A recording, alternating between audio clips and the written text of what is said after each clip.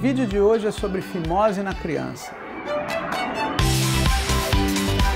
Um assunto que a maioria dos pais de menino tem curiosidade e poucas informações sobre ele. Toda criança nasce com excesso de pele, que é o que a gente chama de redundância do prepúcio. Na verdade, a fimose é quando esse excesso de pele faz um anel e estreita a saída da glândula. Essa criança pode ter infecções de repetição, que a gente chama de balanopostites de repetição, ou pode ter dificuldade para urinar, ou mesmo apenas dificuldade para limpeza e dor.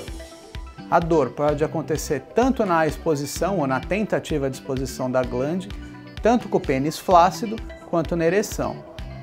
Muitas crianças com fimose não vão dar muita bola enquanto elas são crianças ou mesmo adolescentes. A partir do momento que começa a vida sexual, aí sim elas vão lembrar do problema, porque elas vão ter dor na ereção, na relação sexual e também na masturbação. O nosso vídeo busca informar qual é o melhor momento para se operar. A gente sabe por experiência que as crianças de 8 anos elas têm mais dificuldade de limpeza, o pós-operatório delas é mais complicado.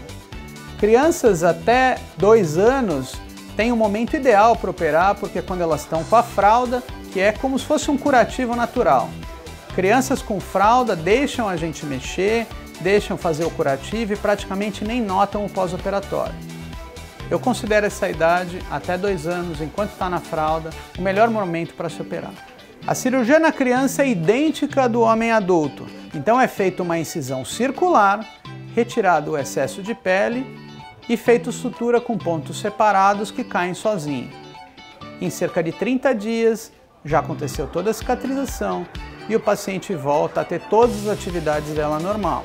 Quer saber mais sobre o assunto? Acesse nosso site. Lá tem uma janela só sobre fimose e postectomia. Te vejo lá.